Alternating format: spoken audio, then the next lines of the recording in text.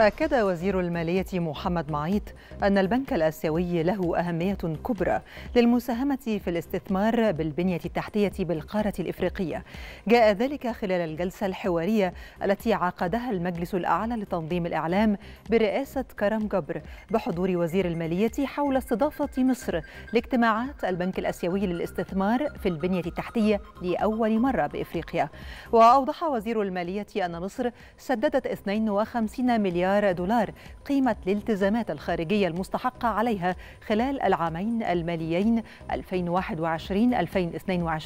و 2022-2023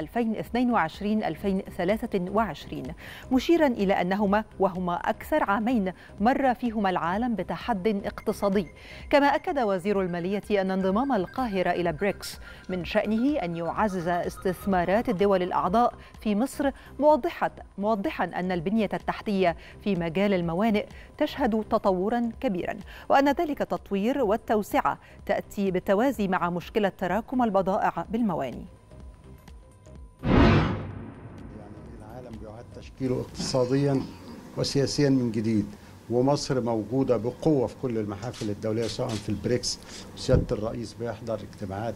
مجموعة العشرين وأدي اجتماعات البنك الآسيوي دي فريدة من نوعها معالي الوزير أعطانا صورة متفائلة للاستثمارات في السنوات القادمة وفي أمل كبير جدا إننا نجتاز كل هذه الصعوبات لأن الدولة اللي قدرت تعبر مشاكل وأزمات وتحديات كبيرة جدا بعد يناير قادرة بإذن الله إنها تتجاوز هذا الأمر وتخرج إلى بر الأمان. انعقاد الاجتماعات السنوية للبنك الآسيوي للاستثمار في البنية التحتية وقلنا إن البنك يعني عنده 106 عضو ورأس ماله 100 مليار دولار ومصر من الأعضاء المؤسسين في هذا البنك يعني من الدول الإقليمية بالنسبة للبنك من حيث التأسيس ومن حيث التمويل وبرغم أنها دولة في قارة أفريقيا و يعني لها حصة في رأس المال ب 650 مليون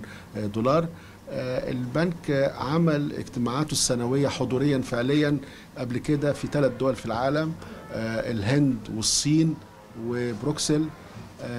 فدي يعني أول مرة في القارة الأفريقية يعقد هيعقدها في مصر.